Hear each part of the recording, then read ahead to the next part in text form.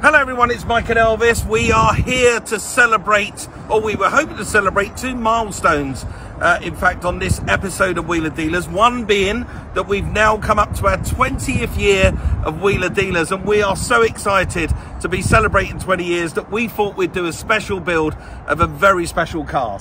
Very special car because, as well as being 20 years of Wheeler Dealers, is also the end of the Ford Fiesta. Many of you know that, but they're ending it next year, and it's a, a crying shame because it's such an iconic car. So we thought we would build a very, very special version of that car. So we have put our heart and soul into getting a Mark 1 1300S Ford Fiesta in blue with a brown interior. And I've really challenged Elvis. This has been a nut and bolt restoration. I dare to say that we possibly built the best Mark 1 Ford Fiesta in this country. It really is that good. We've had bids for it already.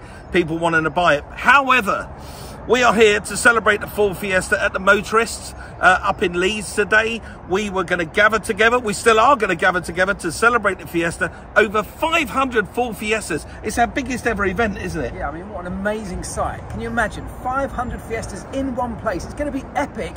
And our car was supposed to be at the heart of that. It's going to be the star car. But we've uh, left the hotel this morning and our car, which was in a covered trailer, unfortunately, has disappeared.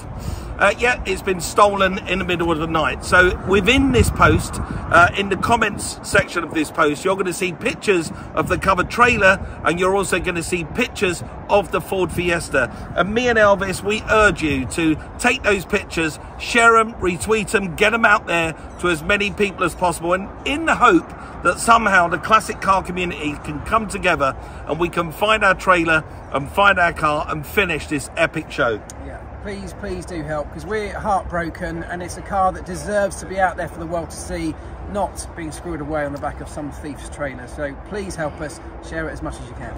You know, me and Elvis are really proud that we make the world's biggest car show. And at the moment, we want to celebrate that with the world's biggest crowd and the biggest crowd of people we can put together with this Fiesta. So if you can help us, we really would appreciate it. Uh, me and Elvis, it's not going to stop us today. We're still going to get over to the motorist. We're still going to celebrate uh, the fantastic Ford Fiesta and what it's done for us all over the planet. And we're really excited about that. Uh, but let's hope we can find our car and get it there later. Thanks, guys. Cheers. Tell up.